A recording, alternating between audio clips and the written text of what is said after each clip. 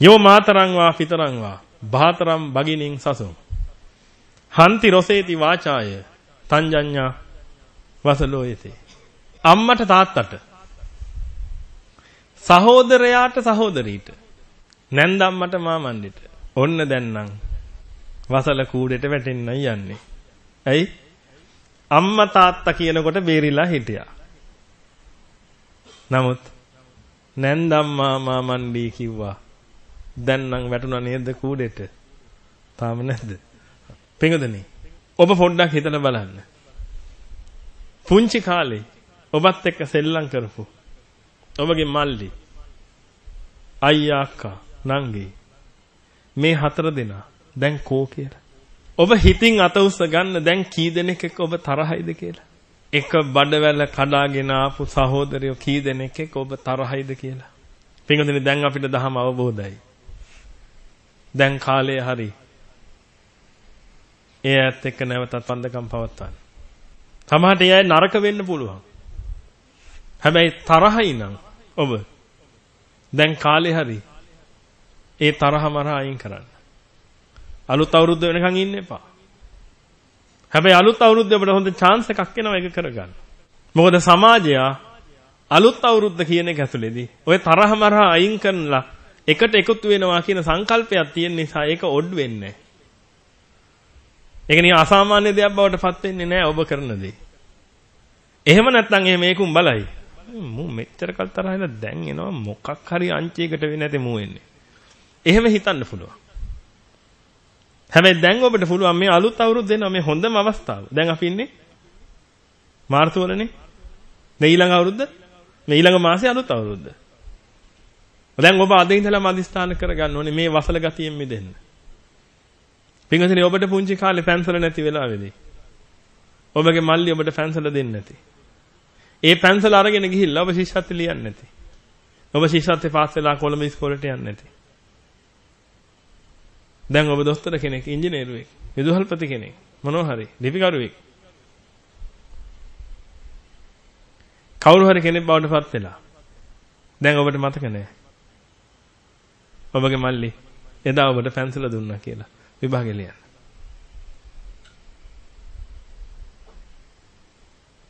අද ඔබ මල්ලිව පැත්තකට දාලා. මල්ලිගෙන ඕන පොඩි වචනයක් ඔබට කිව්වයි කියලා. ඔබ මේ පවුලම අයින් කරලා දාලා. සුදුසු නැහැ. තථාගතයන් වහන්සේගේ ශ්‍රාවකයෙකුට සුදුසු නැහැ පිංගුතුනේ දේ. ඔබ හොඳට විමසලා බලන්න. ඔබ පුංචි කාලේ ඔබත් එක්ක එකට හිටපු අය. පුංචි කාලේ ඔබත් එක්ක සෙල්ලම් කරපු අය. පිංගුතුනේ ඔබගේ තනිකමට හිටියේ ওই පිරිස. ඔබගේ තනිකමට හිටපු ඔය මල්ලිලා නංගිලා ටික. අද ඔබ ලොකු වෙලා ඔබට තව පිරිසක් ඔබගේ වටේ ඉන්නකොට දැන් අමතක වෙලා. ඔබට දැන් යහමින් තියෙනවා. ඒත් ඔබට හිත දෙන්නේ ඒ අයට දෙන්න. මොකද හිතේ තරහක් තියෙනවා ඒ අයගේ. ආවල් දේදී අහවල් විදිහට කටයුතු කළා මම උඹලට කරන්නේ. ඔබ ඔබගේ ස්වාමි පුරුෂයාගේ හෝ බිරිඳගේ සහෝදරයෝ ભેද බින්න කරවලා ඔබගේ සහෝදරයන්ගේ පැත්තට නැඹුරු කරලා ඇති. හොඳට බලන්න. මෙහෙම වෙලා නැද්ද කියලා ඔබගේ පවුලේ. දරුවෝ හොඳට කල්පනා කරලා බලන්න. තාත්තගේ පැත්තේ ඇත්ත එක තරහ කරවලා අම්මගේ පැත්තට අරන් ගිහිල්ලා නැද්ද? අම්මගේ පැත්ත ඇත් එක තරහ කරෝලා තාත්තගේ පැත්තට පැත්තට අරන් ගිහිල්ලා නැද්ද ඔබ? ඔබ කල්පනා කරලා බලන්න. බොහෝම අඩු පිරිසක් තමයි පින්විතනි තාත්තගේ පැත්තයි අම්මගේ පැත්තයි දෙගොල්ලන්ගම සම විදියට ආශ්‍රය කරන්නේ. අමු වසල ගති. ස්වාමි පුරුෂයා හම්බු කරගෙන එනවා සල්ලි. ඒකෙන් බිරිඳගේ ඥාතිවරු හෙවත් අයියලා මල්ලිලා නංගිලා ටික උඩ රත්තු කරන්න කොටසක් වෙන් කළාට ස්වාමි පුරුෂයාගේ අයියලා නංගිලා මල්ලිලා ටිකක් ඉන්නවා. ඒ ඇයට යහපතක් කරන්න මාත්‍රයක්වත් කරන්න ඒ ඇත් එක පුළුවන් තරම් තරහ කරන එකම තමයි වැඩේ. බිරින්දාව හම්බ කරගෙන ටික ස්වාමි පුරුෂයාත් එහෙම කරනවා ඇති. අමු වසල වැඩක් ඔය. ඒක නිසා පින්විතනේ ඔබට යහමින් ධනෙ තියෙනවනම් ඔබට යමක් කරන්න පුළුවන් නම් තමන්ගේ සහෝදර සහෝදරිය වෙනුවෙන් පුංචි හරි දෙයක් කරන්න. අඩුම තරමේ ලෙඩ දුකට ඉන්නවා කියන හැඟීමවත් තියලා තියන්න. ඔබ ભેද බින්න වෙලා නම් ඉන්නේ. ඔබට හොඳ අවස්ථාවක් මෙන්න සිංහල අවුරුද්ද එනවා. නියම සීහ හෙලෙක් වෙන්න උත්සාහ කරන්න මේ සීහෙල අවුරුද්දේ. නියම සීහ හෙලෙක්. නියම සීහ හෙලයාගේ ස්වභාවය තරහ මරහ කෝන්තර තියාගෙන ඉන්න එක නෙමෙයි. දැන් ඔබට පුළුවන්. තමන්ගේ ඥාති ගාවට යන්න. වෙච්ච වරදක් තියෙනවනම් ඒ අයගෙන්මයි වරද උනේ. ප්‍රශ්නයක් නැහැ. ඔබට කියන්න පුළුවන් අර මන්තරේ. ලෝකෙ දිනන මන්තරයක් තියෙනවා මොකද්ද? සමා වෙන්න. අක්කේ සමා වෙන්න මගේ අතින් වරදක් වුණා. බුලත් අත දීලා වැන්දා. අලුත් අවුරුද්දේ කාටවත් මොකුත් කියන්න බෑ. හැමෝටම සිද්ධ වෙනවා ඒක ගන්න. ඔබ ඔබ පින්වතුනි තදින් වැළඳ ගනීවි. අක්කයි නංගි දෙන්නත් එක්ක අඬාවි.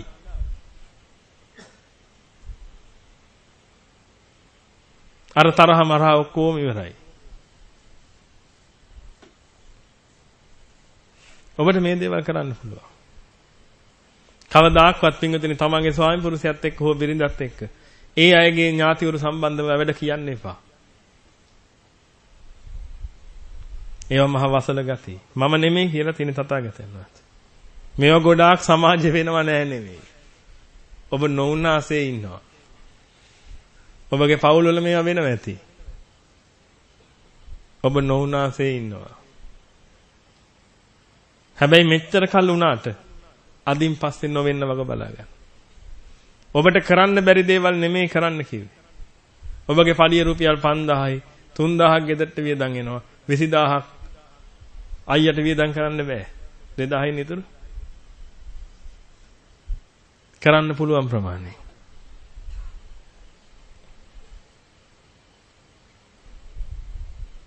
කරන්න පුළුවන් ප්‍රමාණයෙන් බලලා කටයුතු කරලා දෙන්න. ඒ අයව විනාශය පිණිස කටයුතු කරන්න එපා.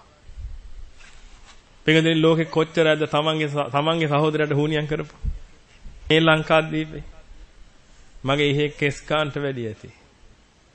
තමන්ගේ සහෝදරයාට සහෝදරියට හුනියම් කරපු.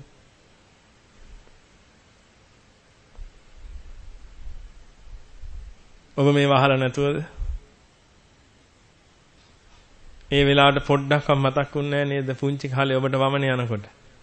ඔබ එළියට වත්තම් කරගෙන ගියේ ඔය සහෝදරී කියලා. අද ඒ ඔක්කොම අමතක කරලා දාලා පින්විතනි ඔබ තරහ වෙලා. මේ වමන ටික ඔක්කොම පිහිදාලා දැන් මේ සහෝදරී සහෝදරයා. ඔබ ඉස්පිරිතාලේට අරන් ගියේ ඔය සහෝදරයා.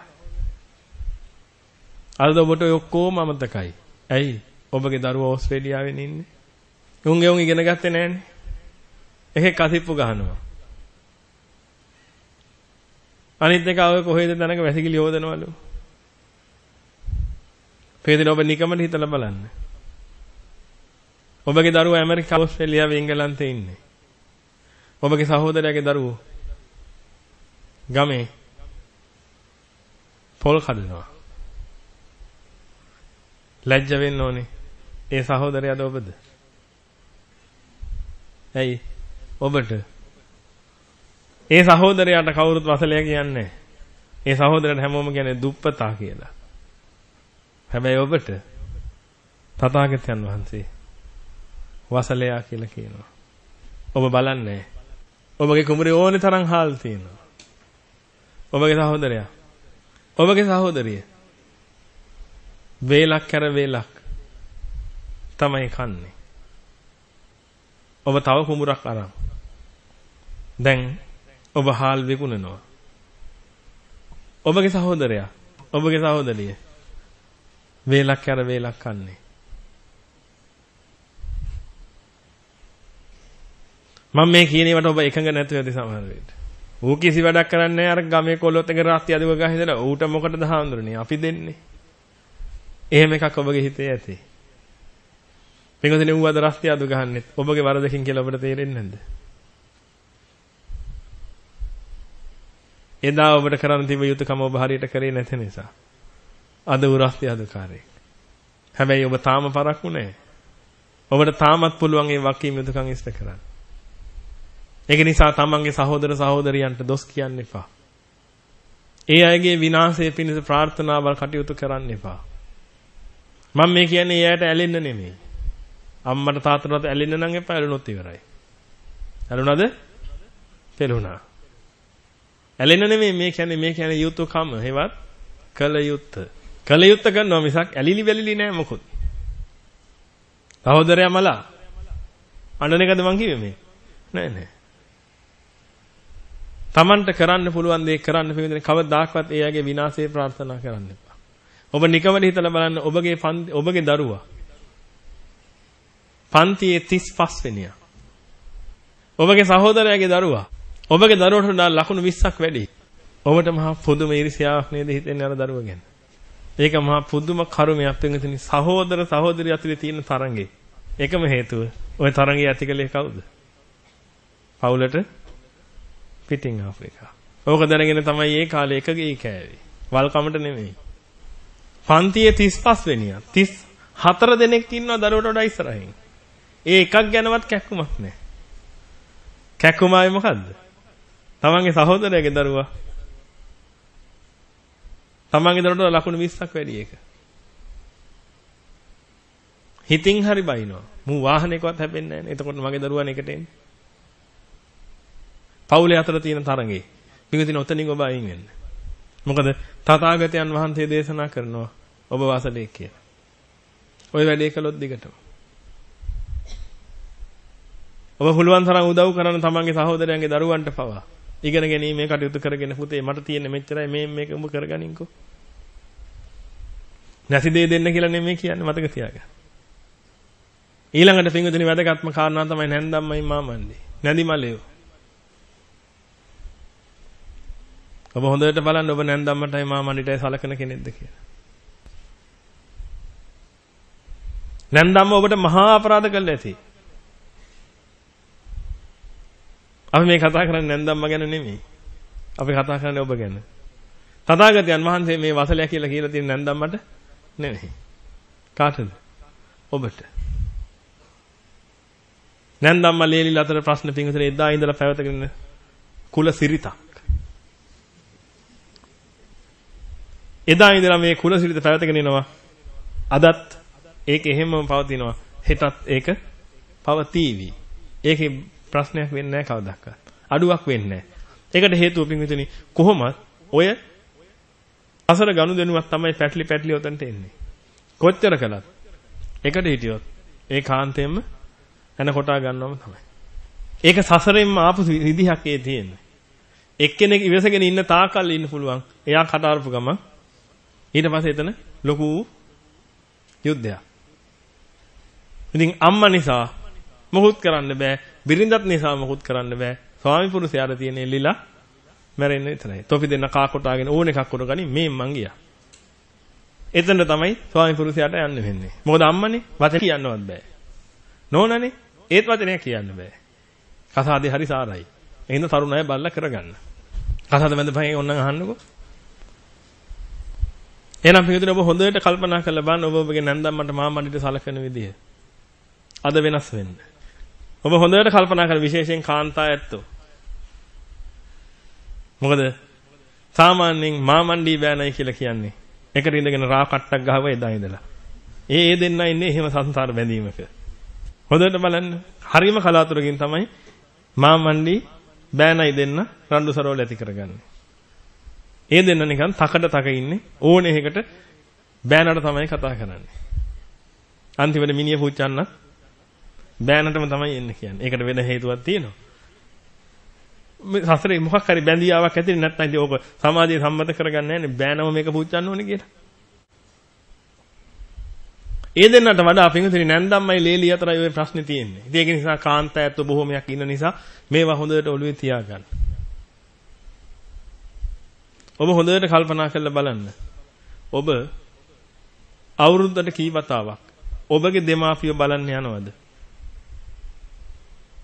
අවුරුද්දට කී වතාවක්? ස්වාමි පුරුෂයාගේ දෙමාපියෝ බලන්න යනවද?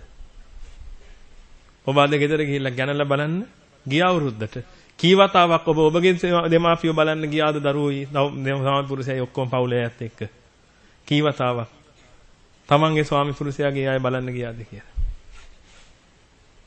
ඔබ වසල කූඩේට වැටෙයි. පිටරට ඉන්න අය මේ වෙනකොට මේක අහගෙන ඉන්නවා පිටරට ඉන්න අය කල්පනා කරලා බලන්න. ඔබ ලංකාවට ආවට පස්සේ වැඩිපුර කාලයක් ගෙවන්නේ නෝනගේ කට්ටියත් එක්කද? නැත්නම් මහත්තයයි කට්ටියත් එක්කද? වසල ගතිය. මම දන්න සමහර පිරිස ඉන්නවා. නෝනයි මහත්තයයි ආහම. මහත්තයා මහත්තයලා ගෙදර. නෝනා නෝනාගේ ගෙදර. මට නම් බෑ තමසලා ගෙදර ඉන්න. අයන ඔයා යන්න කොකොල්ලා ගෙදර. මං අපේ අම්මලත් එක්ක. එහෙම ඉන්න පිරිස ඉන්නවා. හැබැයි ඒ වගේම සමහර අය ඉන්නවා. හරි බුද්ධිමත්. නෝන තමයි මහත්තයා ගෙදරට කතා කරන්නේ හැමතිස්සෙම. මහත්තයා තමයි නෝනගේ ගෙදරට කතා කරන්නේ හැමතිස්සෙම. එහෙම බුද්ධිමත් අයත් ඉන්නවා. හොඳට ෆවුල් දෙක රැකගෙන යනවා. මොකද දෙපැත්තට කතා කරන්නේ. ඒක හරි වටිනවා එන කෝල් එක. ඇයි එන්නේ කාගෙන්ද? බෑනගෙන්. අර එන්නේ කාගෙන්ද? ලේලිගෙන්. ඉතින් හරි වටිනවා ඒගොල්ලන්ට ඒ කෝල් එක. ඉතින් ඔබට පුළුවන් මේකෙන් මේ දේවල් ඔබගේ ජීවිතවලට එක් කරගන්න. නැත්තම් මේ වසල ගතියට ඔබ අහු වුණොත් ඔබ පරදිනවා මේ ගමන. මොකද හේතුව ඔබට ඔබගේ නැන්දම්මා කියනකොට ඔබගේ නිවනම වැහිලා යනවා. දැන් මම ඔබට මතක් කරලා දුන්නොත් ඔබගේ නැන්දම්මා. දැන් මෙතනින් එහාට බණ අහන්නත් බෑ. ඕකි? ඔන්න ඔහොම තමයි එන්නේ. මොකද ඔබට අදන්තේට්ටම් කරලා ඇති. පිටුදින සසරේ ආපු විදිය. ඔය දෙන්න නිකන් නෙමෙයි එකතු උනේ. ඔය හැප්පිල්ලටම තමයි එකතු උනේ. ඒක ඔබ දැනගන්න එපා. ඔබ සසර ගනුදෙනු අහලා තියෙනවනේ. ඔබ සසර ගනුදෙනු ගැන හොඳ බලාගෙන ඉන්නේ. හොඳට තේරෙනවනේ ඔබට සසර ගනුදෙනු එකතු වෙලා එන හැටි.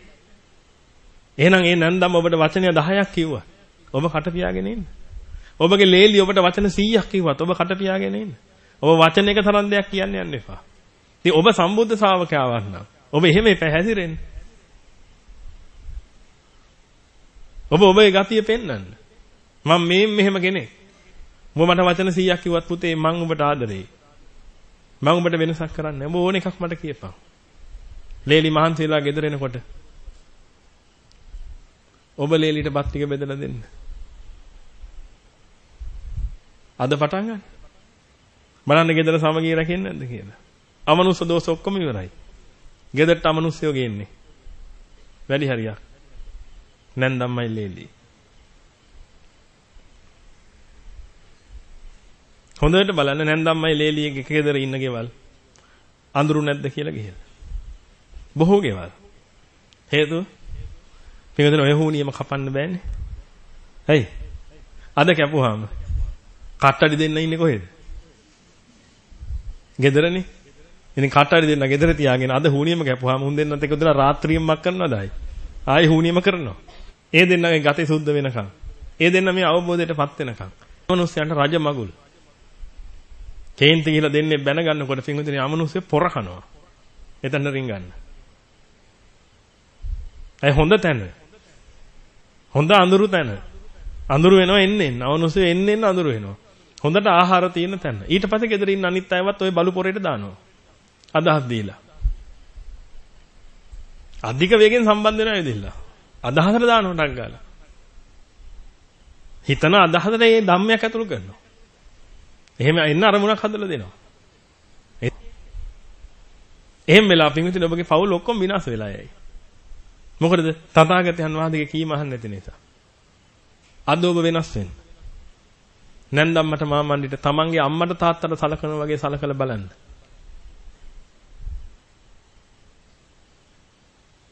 විශාඛාව දී කියන වෙලාවේ ධනංජය සිටුවරේ අවවාදයක් දුන්නා.